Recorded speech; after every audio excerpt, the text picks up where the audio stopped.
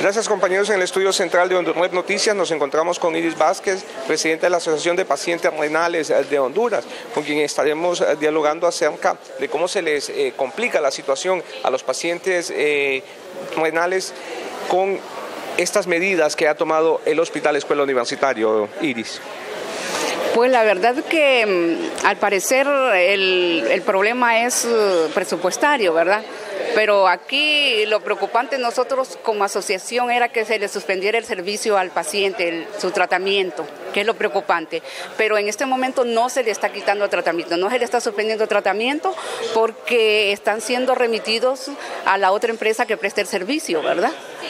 El cual eh, es eh, es agradable para nosotros porque, como le digo, ¿verdad? preocupante es que se le estuviera suspendiendo su, tratamiento. Pero esto no deja de, tener complicaciones siempre, el traslado. Eh, la verdad que el traslado no, ¿verdad?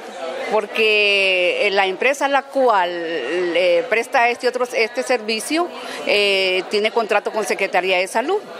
Y de, algún, de, la verdad que sí, de alguna u otra manera, ¿verdad?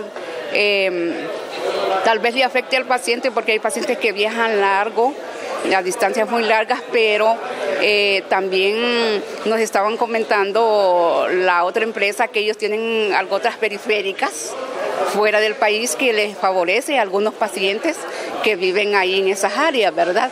Y mm, ahorita nos estaban comentando que tienen una eh, ya para aperturarla en la ciudad de Ciguatepeca y la entrada a Copán, que vendría también a descongestionar un poco aquí la, eh, la clínica que tienen acá ellos, Tegucigalpa, y luego la otra en San Pedro Sula. Entonces esto sería muy favorable para el paciente que viaja. Ahora, ¿actualmente el Hospital Escuela les hace algún cobro cada vez que vienen a hacerse la diálisis?